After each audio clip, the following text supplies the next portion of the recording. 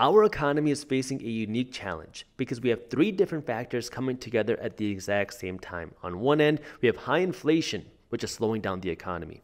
Second, we have the higher interest rates, which are also slowing down the economy. And then the Federal Reserve Bank, in their most recent meeting minutes, announced that they believe that we will enter a recession by the second half of this year.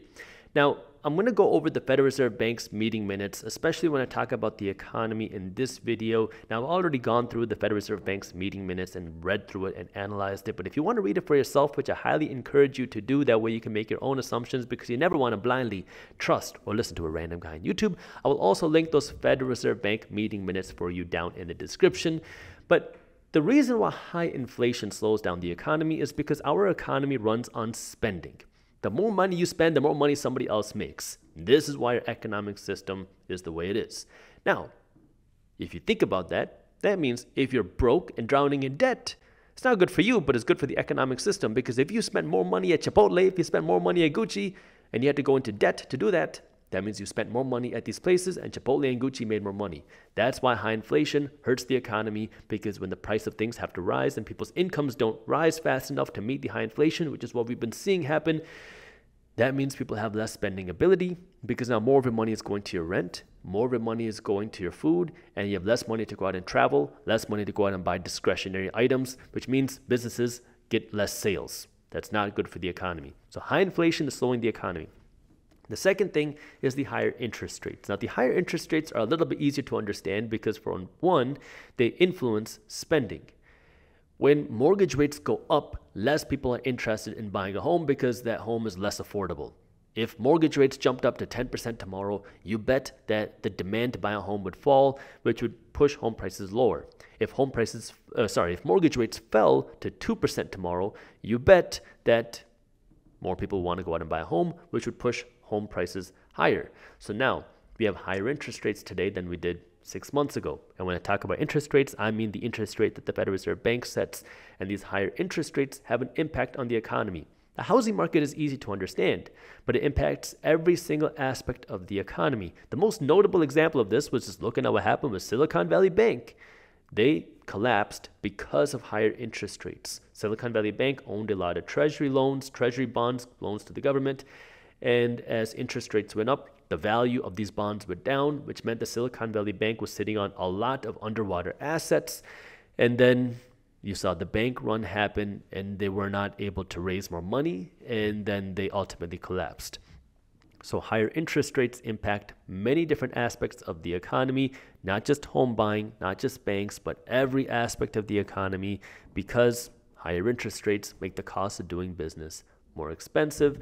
And all three of these things then lead us to the economic slowdown, which is why now the Federal Reserve Bank is predicting a recession by the end of 2023. Now, again, this is just semantics. The average American is already in a recession, but the Federal Reserve Bank is now predicting that we will be in a defined actual recession by the end of 2023. And they gave a few reasons for this. And let me start by talking about what the Federal Reserve Bank had to say about the banking sector and how that is going to lead to a recession for the United States. This is directly from the Fed's meetings minutes.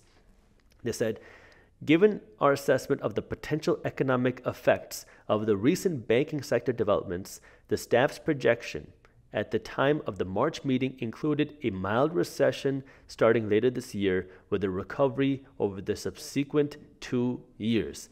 Meaning, because of what's happening in the banking sector, the Federal Reserve Bank is expecting that we will enter recession by the end of 2023 and then we're going to spend 2024 and 2025 then recovering from this recession.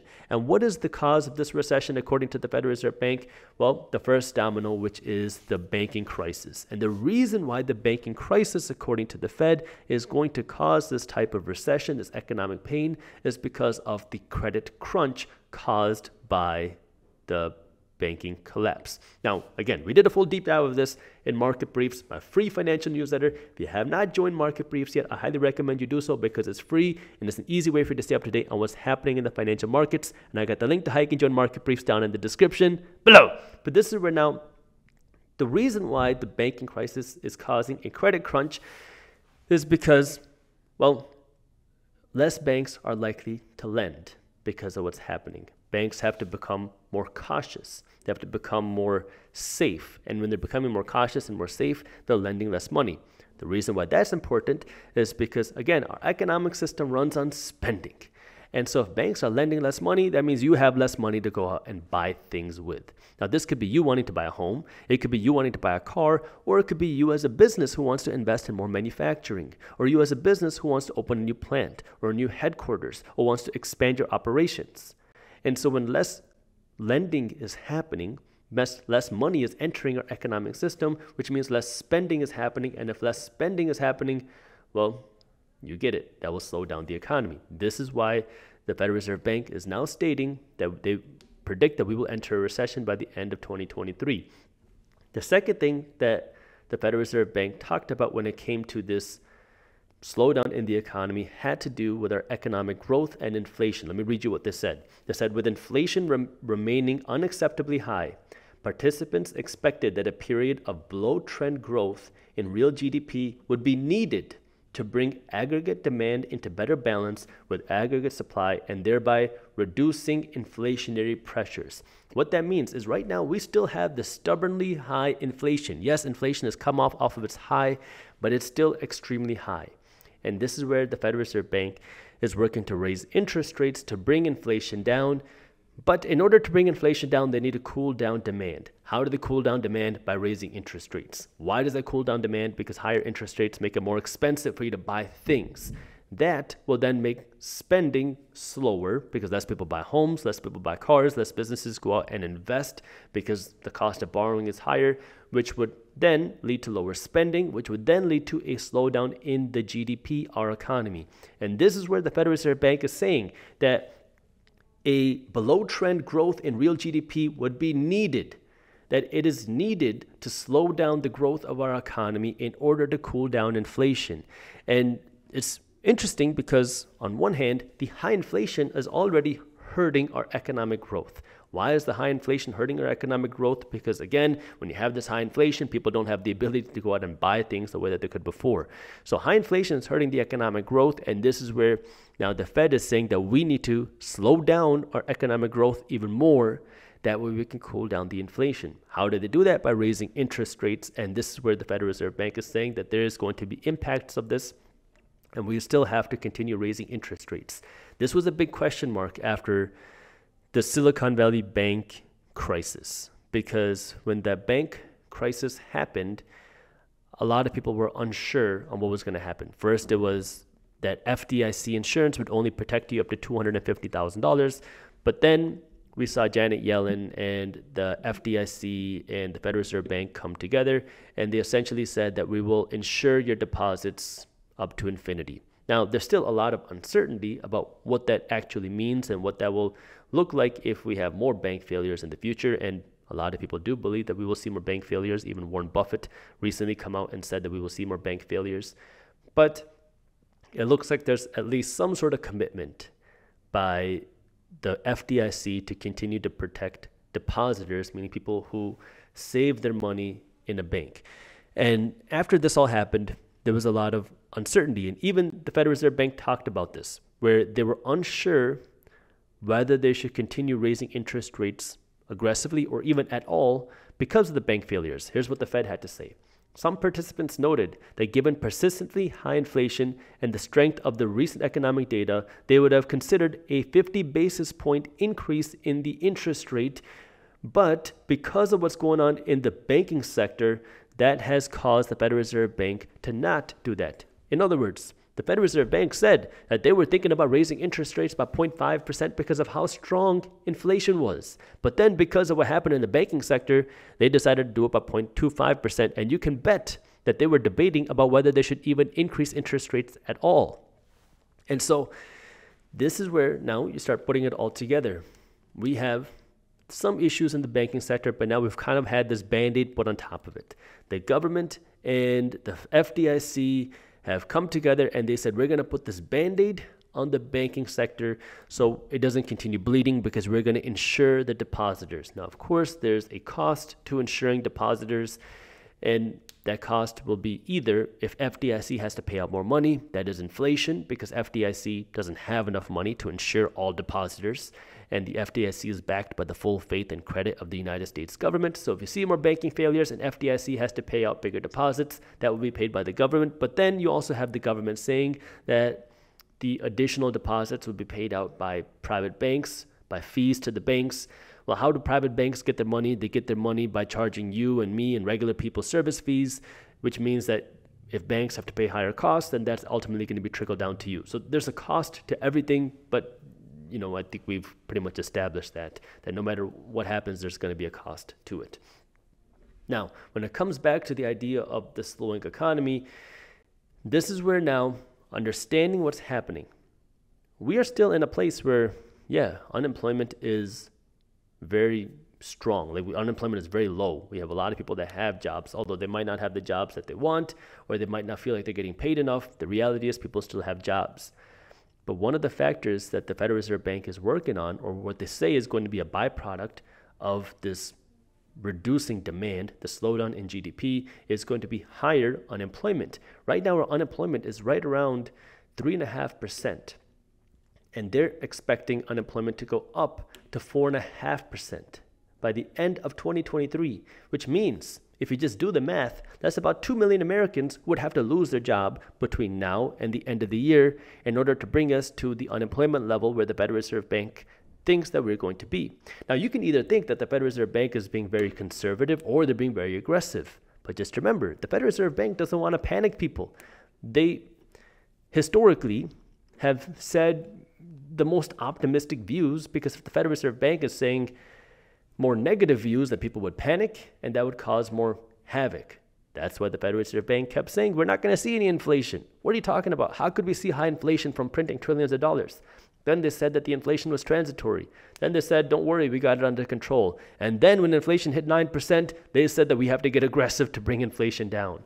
So right now we have the Federal Reserve Bank who is saying that inflation, or sorry, unemployment is going to go up to around 4.5%, and that they expect about 2 million Americans to lose their jobs to get the unemployment number there. Why do they want to see the softening in the labor market? Well, it's not that they want to see people lose their jobs, is that they want to see inflation come down. And one of the byproducts of raising interest rates to bring inflation down is that you see this cooling in the economy, aka businesses have to reduce, and that means the people have to lose their jobs. Now, if it's worse than that, then that means even more people would lose their jobs, more businesses go under. And now this is where I want you to understand this is what the Federal Reserve Bank is saying. What can you do about it? Number one is get the emotion out of the equation. You have a lot of people here and on the internet, and I understand YouTube is a big play in this. There's a lot of emotion in the financial markets. And the reality is, in the media game on the internet, if you don't have, let's just say, an attractive title, nobody clicks on it. Okay? I understand that. And that's why we have to use some of the titles that we use. But do not follow a title. Now, one of the things that I try to do is provide education in the videos. That way, you can get a better understanding of what's happening instead of just being led down an emotional roller coaster of what might be happening in the financial markets. But this is where I mean that's also why I created market briefs because you don't have to worry about the sensationalism. You get one email and the email breaks down everything you need to know. That way we don't have to go into that whole clickbaity game. That's why I'm so trying to grow market briefs instead of trying to give the education through this traditional media game. But back to the focus of this video. There is a lot of craziness out there. There's a lot of emotion out there. And what I want you to understand now as a financially savvy person is that some people will get hurt because of this economic slowdown. And what I want you to do is not be one of those people who gets hurt. Instead, I want you to be one of the people that understands this and can actually capitalize on the opportunities. And the way that you can do that is by number one, getting the emotion out and rather cut through the noise and read the actual data. Read the actual information and then look for opportunities. The way you look for opportunities is by number one, understanding where the opportunities might be. And these are not by going out and buying things, but rather by buying investments. Here's the reality recessions and market crashes create more millionaires than any other time.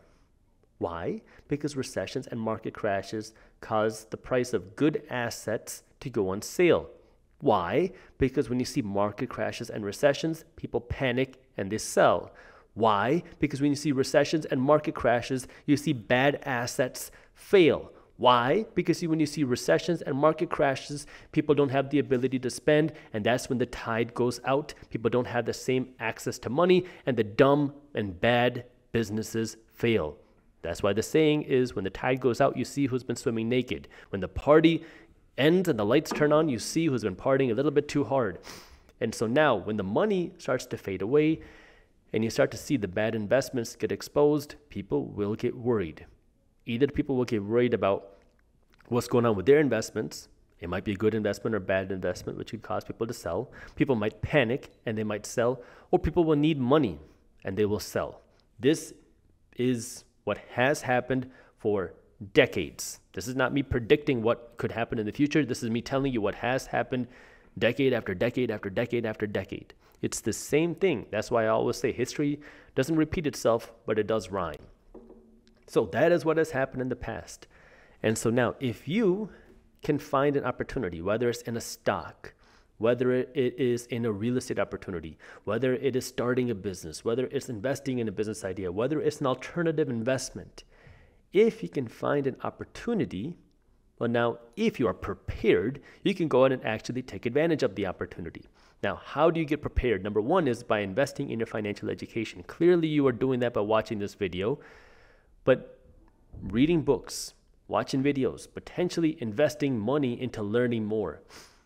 That is investing in your financial education so you can learn how to do things like analyzing a stock, analyzing a real estate investment, making a real estate investment, going out and starting a business, or investing in startup companies. You can learn how to do that by paying money, reading books, or by watching YouTube videos. Then the next way that you're prepared is by putting aside cash.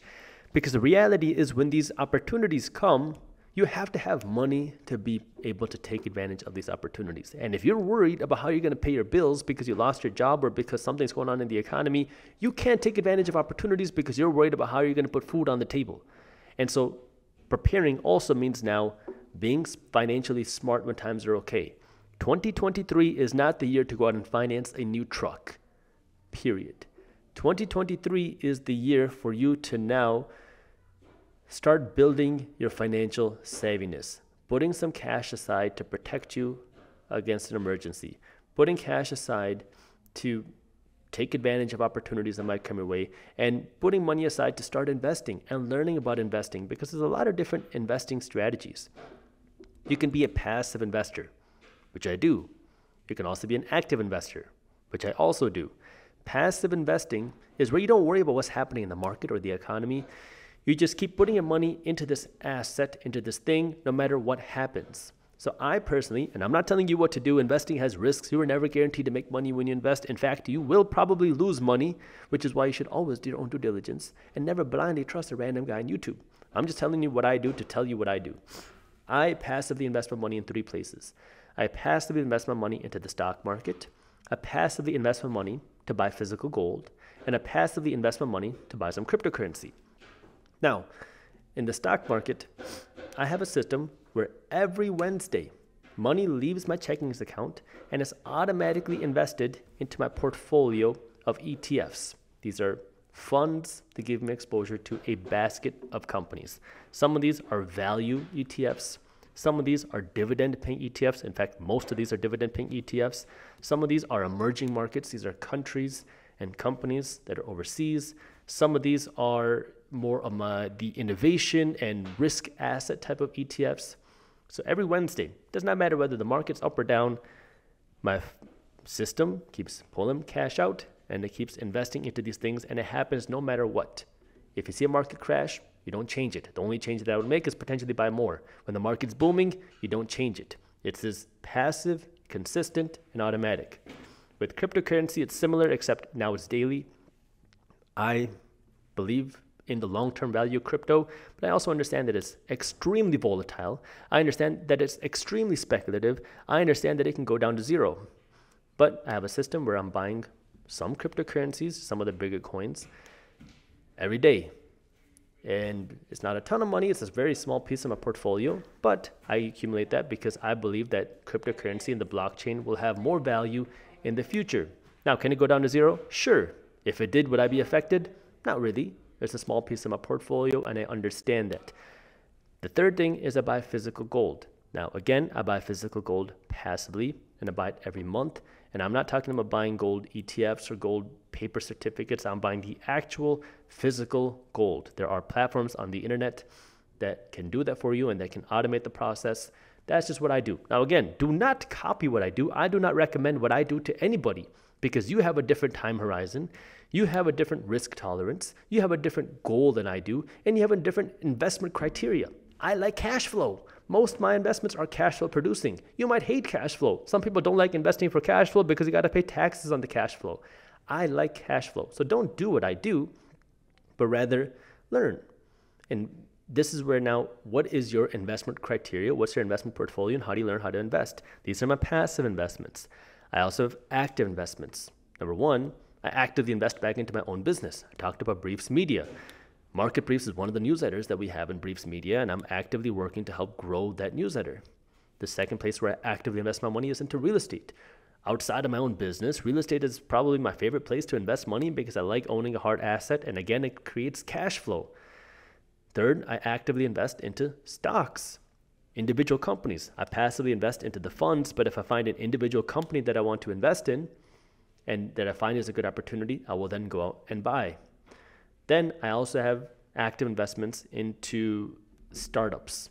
I recently started doing this in the last few years around the time when the pandemic started. And I like it because I've been very fortunate to build up a platform here where I can also help promote and grow companies that I, I believe in or that I'm a part of. And then, secondly, because I like working with entrepreneurs. I am an entrepreneur myself. And so it's kind of cool and fun for me to be able to invest in and help other entrepreneurs. But it's risky. The statistics say that something like eight or nine out of 10 startups will fail within the first five years. Meaning, statistically, most of the companies, almost every single one of the companies I invest in, will fail go down to zero. And startup investing is a little bit more interesting because you can't get your cash out the way you can with a stock or a real estate investment because you can just sell those. With a startup, you're kind of just waiting to see if the startup will get acquired or if it will go public. And if neither of those two things happen, you will never see your money again.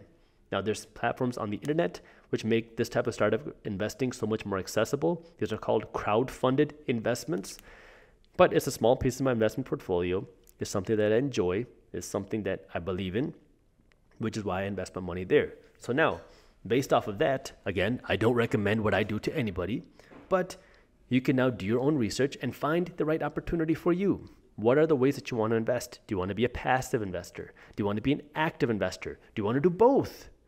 The big thing is, is you got to just do something.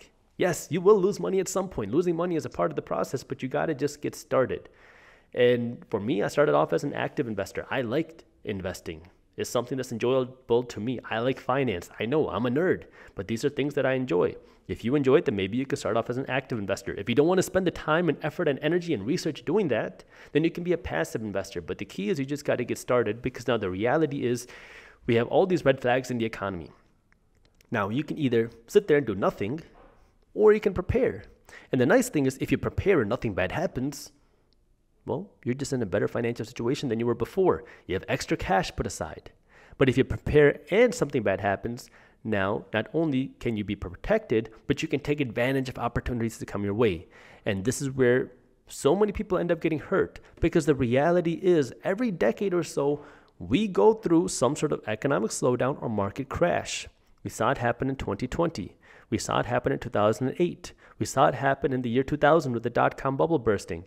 And do you know what's interesting? After the 2008 crash, do you want to know the longest period in the history of modern America, the longest period that our economy has ever gone without a recession?